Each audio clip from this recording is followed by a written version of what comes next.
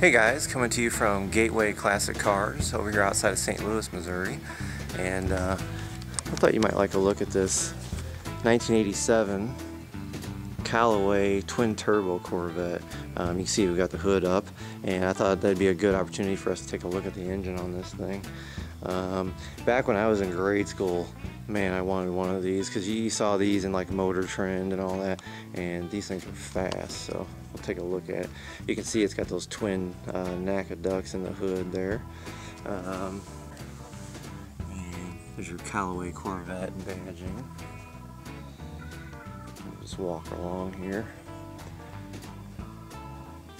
And under the hood, what made these so special um, is that it was tuned by Callaway. And as you can see, you got twin intercoolers, one on either side of the engine, and twin turbos as well.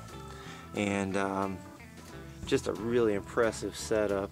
Um, you can see it's even got the uh, Callaway upper intake and runners and everything as well and numerous things done to the engine obviously um, that bumped it up uh, more than 100 horsepower over stock at the time. Um, so you're talking about 345 horsepower and, and, just mountains of torque. So I mean these were strong runners for sure. And this is a pretty nice example. Looks really smooth. I kind of like this maroon color on here as well. You see it's got a nice set of leather buckets in it. Looks like these uh, buckets have been recovered because they look like new. And this has the uh, 4 plus 3 transmission in it, the Doug Nash, which essentially is like a 4-speed manual. So you get all the durability of a 4-speed manual, but then it also has an automatic overdrive on it. And that's what the plus 3 is about. So basically you get uh, overdrive in those top gears uh, to give you better fuel economy and that kind of thing. So pretty cool. And this has the digital dash as well. And then they fitted, uh, it's a little hard to see, but they fitted a boost gauge in there so you can see what kind of boost you're making. Just a very cool car.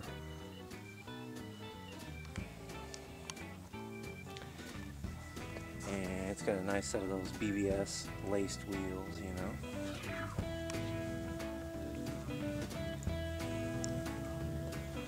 Here we'll go around here and take a look at the specs on it.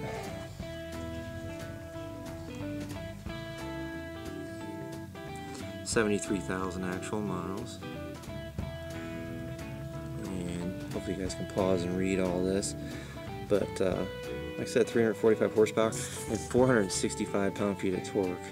And that's the most impressive thing about turbocharged cars is the kind of torque they put out. And this car, way back then, would go 178 miles an hour. I mean, that's uh, mighty impressive for the time. There's some Callaway emblems on the side.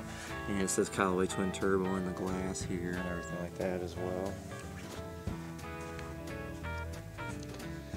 I mean, you know, it could be freshened up in areas. It's not 100% perfect or anything, but it is a nice, presentable car and still runs out really strong. And, uh, you know, it's kind of a piece of history. I mean, I really do remember reading the magazines when I was a kid and I wanted one of these so bad. Because, uh, you know, through the early and mid 80s, cars didn't really have that much power, and this is really the start of it when they really started cranking up the power on these things. Anyway, guys, I thought you might find that interesting. I'm going to keep looking around and see what else they have, and I'll see you later. Bye.